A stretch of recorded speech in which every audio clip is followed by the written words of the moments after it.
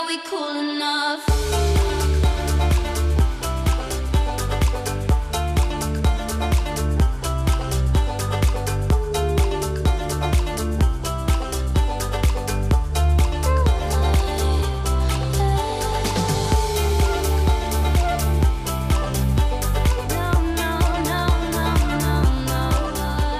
Sì, arriva la terza vittoria consecutiva in una giornata particolare. Io ho due amori calcistici, dico, uno è il Portici, un altro è il Napoli. Immaginate a giocare contemporaneamente Na- eh, oddio, Napoli, Fiorentina e Portici Casalnuovo.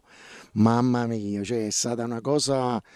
Però è una giornata bellissima, non queste congiunzioni astrali, vince il Napoli, eh, vinciamo noi, il Napoli fa 2 a 2, noi facciamo 2 a 2, noi vinciamo, no- noi una chiara vittoria fuori casa, il Napoli una chiara vittoria. C'è una sorta di parallelismo tra questi due squadre. Il Napoli c'è, evidentemente, nel campionato e oggi devo dire c'è anche il Portici. Parto innanzitutto con un ringraziamento ai tifosi che sono venuti perché venire in orario federale, quando a Torre del Greco, quando in contemporanea c'è il Napoli e avevamo sempre il nostro supporto, c'è solo da elogiarli.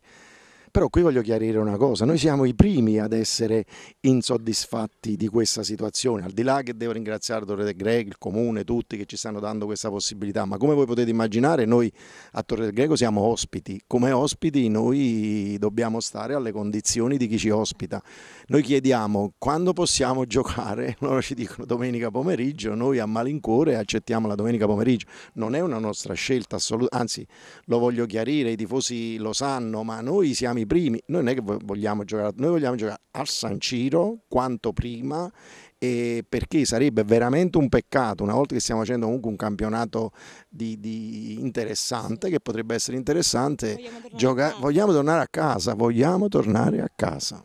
Eh sì, cioè, da filata d'Orcere era una partita delicata perché poteva, cioè, ci, ha, ci ha portato un po' in alta classifica, eh, sta premiando il lavoro che fino adesso il mister i ragazzi, anche non avendo in campo come prima ha detto il presidente, eh, stanno dando tutto loro se stesso per eh, fare questi risultati. Mister, settimana positiva per lei e i suoi ragazzi, visto che il Portici passa il turno di Coppa Italia e oggi arrivano un più tre in classifica. Sì, settimana positiva, eh, ci tenevo tantissimo a passare il turno di Coppa Italia con, eh, con il Piemonte, siamo, abbiamo fatto anche lì una grande gara. Oggi sapevamo che ci aspettava un avversario che, dove ho visto due volte giocare, quindi un avversario forte, ben messo in campo, con giocatori di categoria.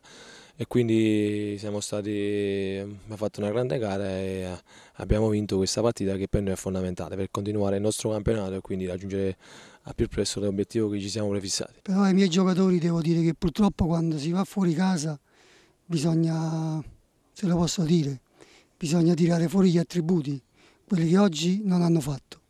Mi assumo le responsabilità di quello che dico e di questo passo eh, ci dobbiamo confrontare e dobbiamo riflettere un poco, ma non un poco tanto, per quello che è successo oggi.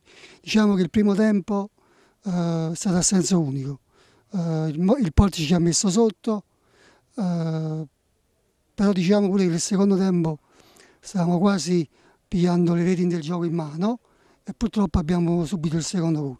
Ma eh, relativamente alla partita in salita, la partita in salita l'abbiamo messa noi, abbiamo messa noi con l'impegno che è mancato, con eh, scesi in campo molli, flaccidi, voglio dire, senza, senza grande vigore e quindi è normale che qualsiasi squadra stava di fronte a noi oggi avrebbe vinto. Quindi abbiamo perso perché il Portici ha fatto la sua partita, ma soprattutto perché noi in campo non ci siamo proprio scesi, semplice. Sì, vabbè, oltre alla prestazione personale ci tengo a precisare che appunto la prestazione personale deriva da un lavoro di squadra non indifferente, lavoriamo tutta la settimana per raggiungere obiettivi come questo e fortunatamente oggi ci è andata bene raggiungendo il, raggiungendo il bottino pieno, facendo il bottino pieno.